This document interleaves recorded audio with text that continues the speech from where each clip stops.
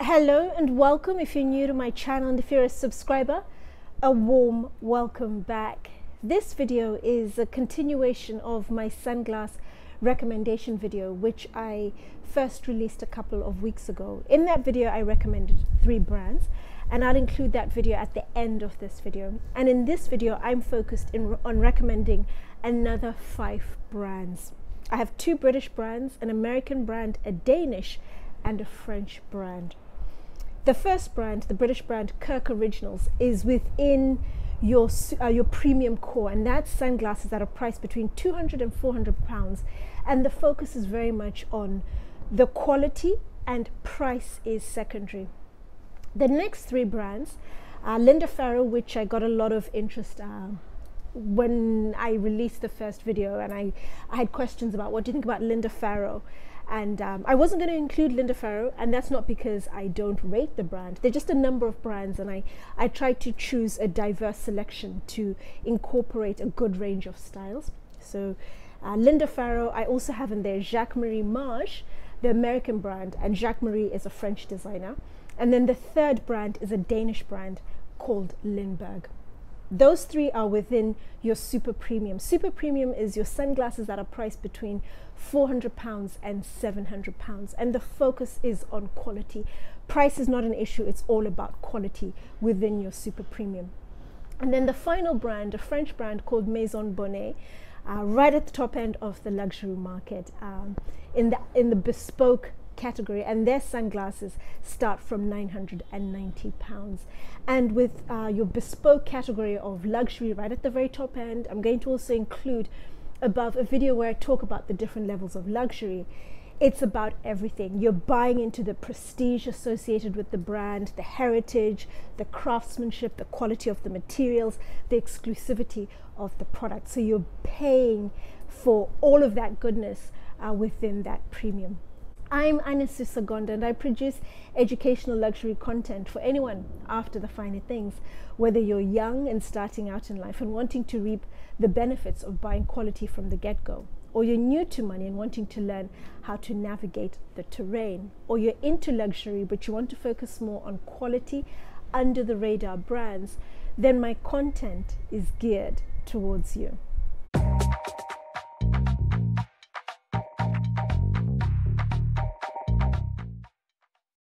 Kirk Originals is focused on producing sunglasses that are entirely handmade in Britain. They have two ranges an entry range priced from £225 and then a top range from £425. Both ranges are produced from the exact same materials, uh, the same lenses, uh, the same Mazzucchelli acetate. Mazzucchelli is an Italian family business that dates back six generations, and they're one of the leading acetate producers. And the hinges are German from OBE. So the focus is on the German engineering, the precision, and of course the phenomenal build quality of the hinges. Where they differ is how they are cut and also the level of handwork that goes into the glasses. With the entry level, the glasses are all cut on mass from a sheet of acetate. They're laser cut using CNC, a computer program. And then they're sent to the United Kingdom and then hand finished. Whereas with the top range, they are individually cut from a sheet of Mazzucchelli acetate. And one artisan will typically do the bulk of the handwork, and they do additional handwork to the glasses. And then they are finished in the factory by other artisans, which means one artisan is making the majority of the glasses, so their production capacity is limited. They're typically making batches of about 10.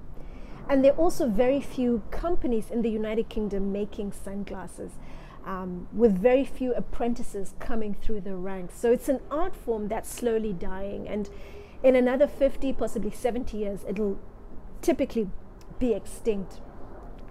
Um, Kirk Originals are known for their classic vintage style glasses, and their SAD aviators are particularly uh, popular. SAD is seasonal adjustment disorder, which is the yellow lenses. They're meant to pick up your mood during the gloomy months, and they've done very well for Kirk Originals. But they've also collaborated with a number of industry titans. Think, for example, David Coggins. They've collaborated with The Rake. Um, the rake is very similar to the armory that I spoke about when I was in New York. I'm going to attach the video above. And the rake retail a very carefully selected um, selection of brands that are under the radar and very much focused on quality. And they've also collaborated with the Rolling Stones, and they have the signature lips on the sunglasses. But because it's a small brand, it means you can also add your own tweaks to the sunglasses. So if you'd like your initials, for example, or in my case, what drew me to the brand is one of their top ranges called the Erno. I particularly like the Erno squared oval shape with the paddle arms, and I really like the glasses. But the issue is, I have a flat nose bridge. So they would need to build in a nose pad for me. So that'll take a little bit of time to coordinate and uh, produce. So that's something I'm working on. But I, I really like the brand. I like the quality of the materials they're using. The British craftsmanship that's gone into it is absolutely phenomenal. And of course, the designs of the glasses, they're classic, they're timeless. You can wear them for many years to come. They're going to be durable um, and robust from the materials and how they're made. And they are, to me, the best when it comes to buying British. It's brands like this that really uphold the standard. My second brand is another British brand, Linda Farrow. And Linda Farrow is a British fashion designer from the 70s. The brand was started by her son, Simon Jablon, and he started off selling her vintage sunglasses.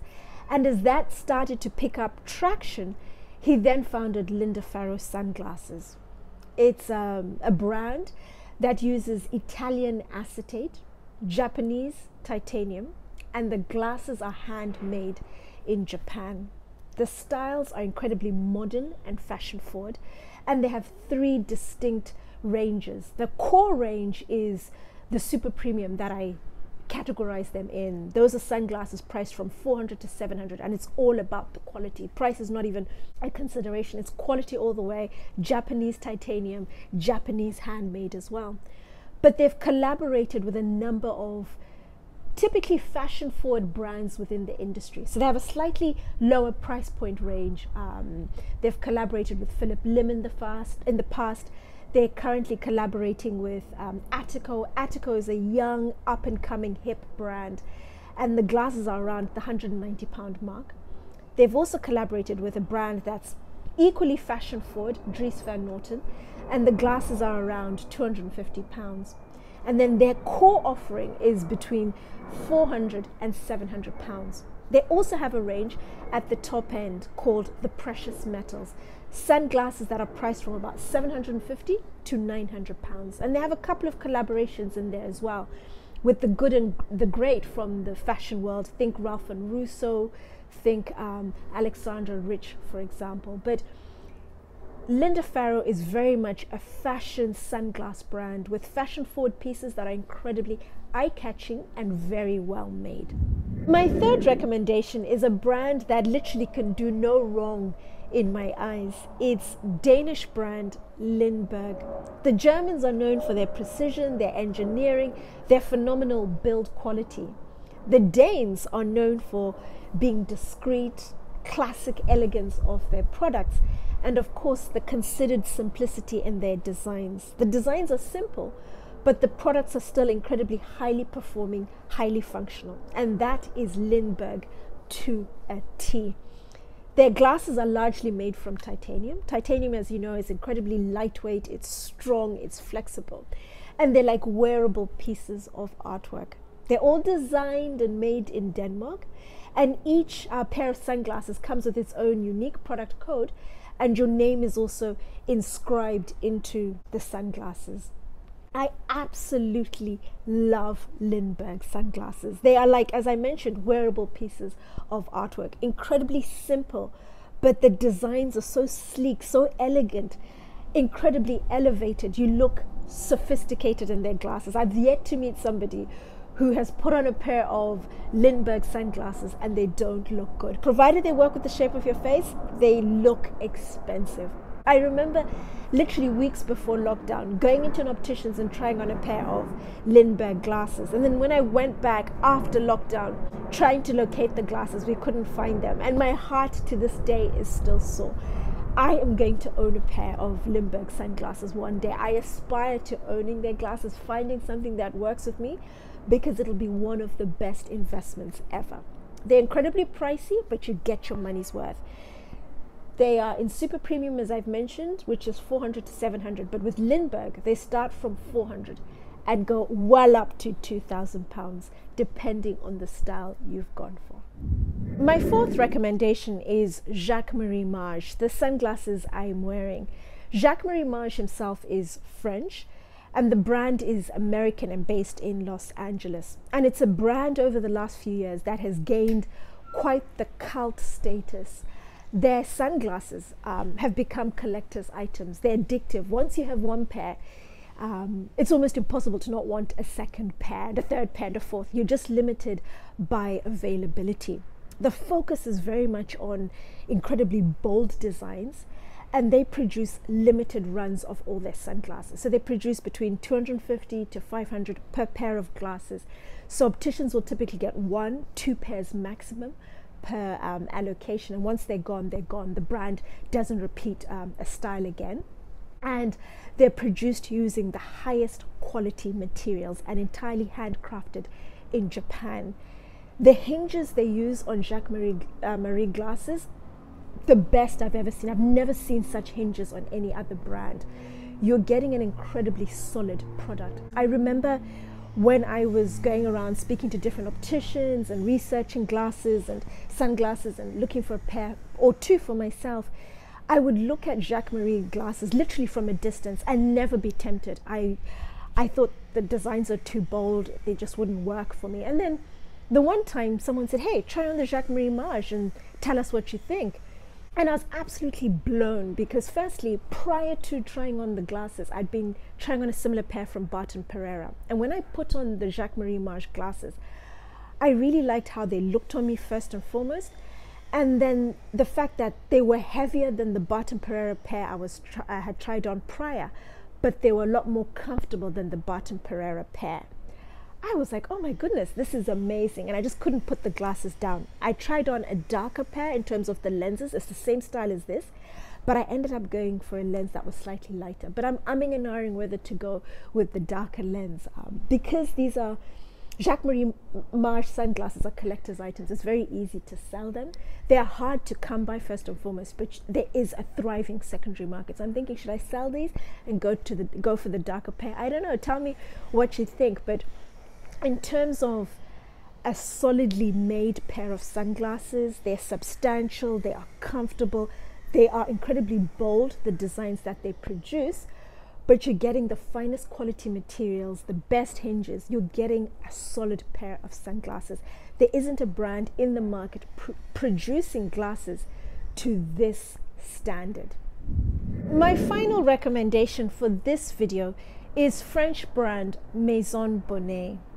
But I will create another video where I'll recommend a number of other niche sunglass brands, but my focus will be more on Japanese brands. As I mentioned at the beginning, Maison Bonnet is focused on producing sunglasses right up at the top end when it comes to levels of luxury. They are focused primarily on bespoke sunglasses. You come in and see the brand in one of their two stores, one in London, one in Paris, and you come in with um, a design, a style in mind, or you sit down with them and create uh, a style that's perfect for you. Ultimately, you end up with uh, a pair of sun, uh, sunglasses that are one of a kind and made uniquely for you. I also mentioned at the beginning their sunglasses come with an eye watering premium. Priced into that premium is the prestige, the heritage, uh, the exclusivity, the quality of the materials, and of course, the craftsmanship that goes into those sunglasses. Looking at the prestige and the heritage, it's a family run business that was started in 1930. And some of the most illustrious French nationals, past and present, have worn or continue to wear their sunglasses. So, think, for example, fashion designer Saint Laurent, you have uh, men's tailor Cifonelli, men's uh, shoe designer Corthay, furniture designer Christian Liaigre, President Mitterrand, uh, Jackie and Aristotle Onassis, for example. The exclusivity, they are focused on focused primarily on custom made sunglasses. So it's a design uniquely for you, but they also have what they call ready to fit sunglasses. A selection of classic styles. You come in, you see something you like the look of, you buy it, and you can leave with it immediately. But their focus is on custom made sunglasses. The craftsmanship, the quality of the materials. The sunglasses are made in France and specifically in a place called Burgundy and they work with three materials. Their base material is Italian acetate. Their hinges are all made in house. But I'm being absolutely pedantic by saying this, and it's in no way to take away from the phenomenal quality of Maison Bonnet sunglasses. But Jacques Marie Mage uh, hinges have a, a slight edge on Maison Bonnet in my eyes. They are absolutely impressive, but Maison Bonnets are still very good quality hinges. The second material is buffalo horn, and then the third material is tortoise shell. Tortoise shell, you're buying into a material that's incredibly luxurious and it's rare. They have two styles of sunglasses. You're custom made, or you come in and you buy what they call ready to fit. A style you like, you buy it, you leave with it. In the Italian acetate, uh, ready to fit sunglasses are priced at 990, whereas the custom made uh, acetate priced at 1500 pounds, and they typically take two to three months to turn around. Buffalo horn, um, very similar to leather in that over time it develops a patina. Uh, as the horn mixes with the natural oils on your face, you start to see subtle changes to the shade of the buffalo horn. And then the top level is the tortoise shell. Tortoise shell is incredibly rare and it typically has a nine month turnaround period as they need time to source the tortoise shell. You need a number of tortoise shells to create a pair of sunglasses, but they don't actually make sunglasses for you for the first time from tortoise shell.